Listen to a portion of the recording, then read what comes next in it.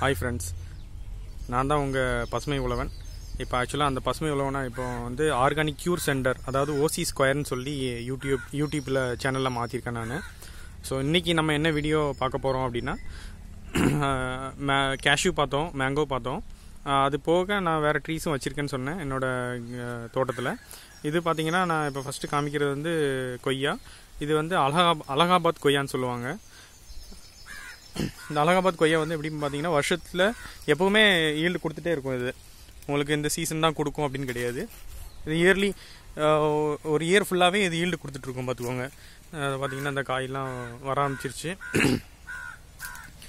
இதை வந்து எப்படின்னா இயர்லி ஒன்ஸ் நீங்கள் வந்து அந்த காய் காய்ச்சி முடிஞ்ச உடனே அந்த ட்ரீயோட அந்த கிளை இருக்கும்ல அந்த கிளையில வந்து இந்த இந்த நுனி பகுதி இருக்குல்ல இந்த நுனி பகுதியை வந்து நீங்கள் இந்த பிளான்ஸை கட் பண்ணுறதுக்குன்னு ஒரு நைஃப் இருக்குது அதை வந்து அந்த நைஃபை வச்சு இந்த நுனியை மட்டும் நீங்கள் கட் பண்ணிடணும் கட் பண்ணிட்டீங்கன்னா என்ன ஆகும்னா இங்கே பக்கத்தில் இருக்கிற மற்ற க பகுதியில் வந்து ஃப்ரூட் வராதுக்கு இந்த இந்த இந்த முன்பகுதியை நம்ம கட் பண்ணனால ஃப்ரூட் வர்றதுக்கு இங்கே சான்சஸ் நிறைய அதிகமாக இருக்கும்.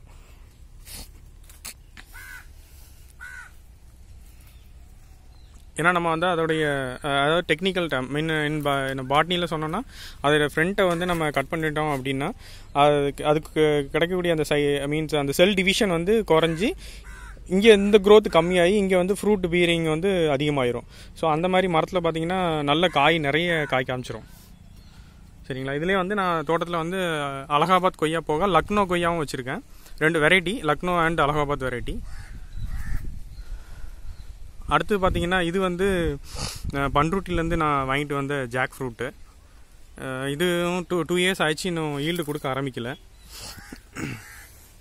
நல்ல க்ரோ ஆயிடுச்சு பார்த்துக்கோங்க ஆக்சுவலாக பண்ருட்டி அங்கேருந்து கடலூர்லேருந்து நான் வாங்கிட்டு வந்தேன். நீங்கள் கேள்விப்பட்டிருப்பீங்க கடலூர் நெ- நெய்வேலி பண்ருட்டி அங்கே உள்ள அந்த ஜாக் ஃப்ரூட் வந்து நல்ல டேஸ்ட்டாக இருக்கும். ஸோ அங்கேருந்து நான் இது கண்ணா வாங்கிட்டு வந்தேன் நான். நல்லா க்ரோ ஆயிடுச்சு பார்த்துக்கோங்க இதுவே வந்து நான் ஒரு அஞ்சு ஆறு மரம் வச்சுருக்கேன். இந்த இப்போ ரீசெண்டாக அது போக கேஷ்யூ பிளான்ட் வந்து பார்த்தீங்கன்னா கொஞ்சம் சின்ன பிளான்ட் நான் வாங்கிட்டு வந்தேன். அதுவும் அங்கேருந்தே வாங்கிட்டு வந்தேன் பண்ருட்டிலேருந்தே அங்கே வந்து கொஞ்சம் பண்ருட்டியில் வந்து கேஷ்யூவும் நல்ல ஃபேமஸ்ன்னு சொல்லுவாங்க. இது பார்த்தீங்கன்னா இது ஆக்சுவலாக இவங்க வந்து இது பண்ணியிருக்காங்க இதை வந்து கிராஃப்டிங் பண்ணியிருக்காங்க ஸோ அதனால் சின்ன பிளான்ட்லேயே உங்களுக்கு ஃப்ளவரிங் வந்துருச்சு. பாருங்கள் ஃப்ளவரிங்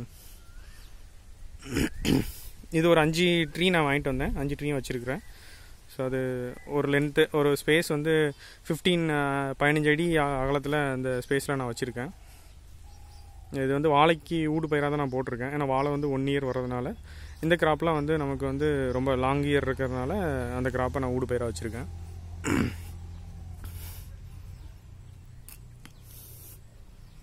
இங்கே பாருங்கள் இது இது உள்ளேயும் ஒரு வெரைட்டி வச்சுருக்கேன். இது செம்பருத்தி வெரைட்டின்னு சொல்லுவாங்க. இந்த ஜாக் ஃப்ரூட் வந்து. அடுத்ததாக பார்த்தீங்கன்னா இது என்ன பிளான்ட்டு அப்படின்னா வாட்டர் ஆப்பிள் இது வந்து நம்ம டிராபிக்கல் கிளைமேட்டில் நல்லா வரக்கூடிய ஒரு பிளான்ட்டு இந்த ஃப்ரூட்டு வந்து பெங்களூர்லலாம் ஒரு கேஜியை வந்து த்ரீ ஃபிஃப்டி ஸோ நம்ம ஊர்லேயே ஈவன் நம்ம ஊர்லேயே வந்துட்டு இங்கே ஃப்ரூட்டு ஷாப்பில் வந்து கடையிலேருந்தே வந்து எடுத்துகிட்டு போனாங்க இங்கே நம்ம வீட்டில் ஒரு நான் அரௌண்ட் லாஸ்ட் இயர் வந்து ஒரு டுவெண்ட்டி ஃபைவ் கேஜி இதில் வந்தது. கேஜி வந்து ஒன் டுவெண்ட்டி வரைக்கும் கொடுத்தேன் நான். ஸோ பெங்களூர் அந்த மாதிரி அங்கெல்லாம் பார்த்தீங்கன்னா ஒரு இந்த ஃப்ரூட்டு வந்து ஒன் கேஜியே வந்து த்ரீ ஃபிஃப்டி வரைக்கும் போகும்.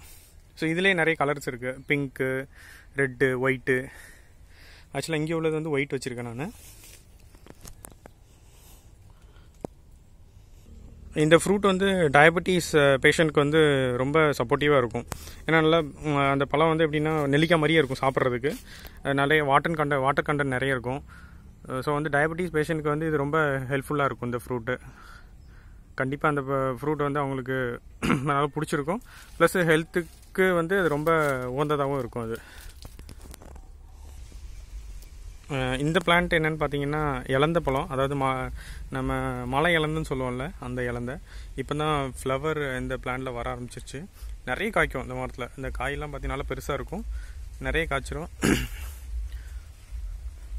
ஆனால் அப்பப்போ கொஞ்சம் இந்த காய் காய்ச்சதுக்கு அப்புறமும் நம்ம கொஞ்சம் இதை பார்த்துக்க வேண்டியிருக்கு. ஏன்னா இதில் வந்து இந்த சூட்டி மோல்டு அதாவது வெள்ளையாக வரக்கூடிய அது வந்து என்னென்னா காய் வரக்கூடிய அந்த காம்பில் வந்து உட்காந்து அந்த காயை வந்து கீழே உள்ள வச்சிரும் சீக்கிரம் காய வச்சு. ஸோ அப்போ நீங்கள் வந்து அதுக்கு வந்து கெமிக்கல் எதுவும் ஸ்ப்ரே பண்ண வேண்டாம். கொஞ்சம் சா சாதம் இருக்குல்ல சாதத்தை வந்து ஒரு லிட்டர் பாட்டில் இல்லைனா ரெண்டு லிட்டர் பாட்டிலில் எம்டி பாட்டிலில் மீன்ஸ் போட்டுட்டு அதில் உள்ள தண்ணி ஊற்றி ஒரு ஒரு வாரம் ஊற வச்சிங்கன்னா அது என்ன ஆகும்? ஃபெர்மெண்ட் ஆயிரும். ஃபெர்மெண்ட் ஆயிடுச்சுன்னா என்னென்னா ஆல்கஹால் கிரியேட் ஆயிரும்.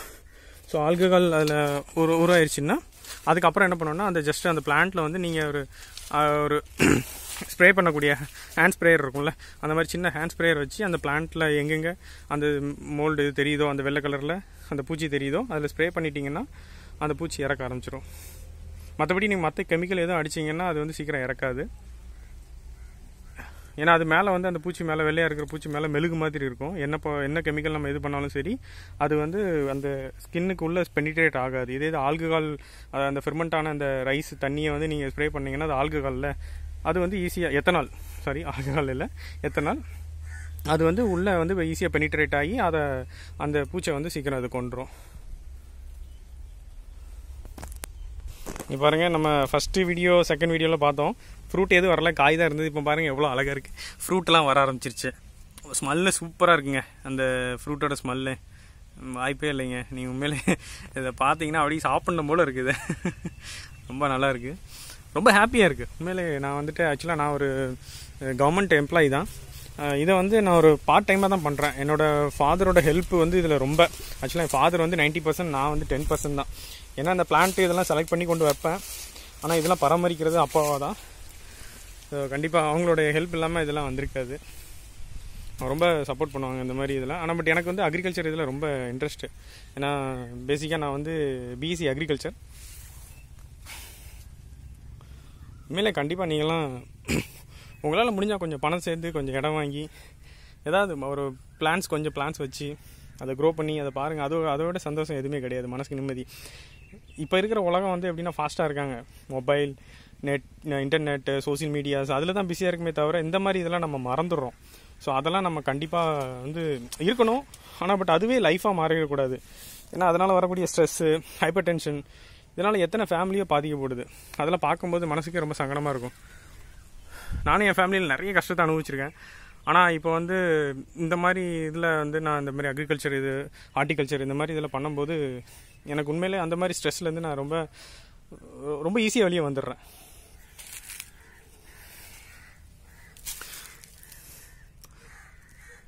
இதுக்கு நான் ஆக்சுவலாக வெறும் எதுவுமே பண்ணலை. உரம் எதுவுமே வைக்கல. த ஜஸ்ட் தண்ணி மட்டும் தான் பாய்ச்சேன்.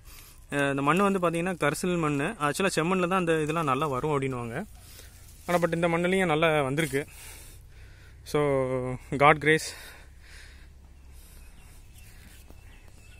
Thank you for watching this video.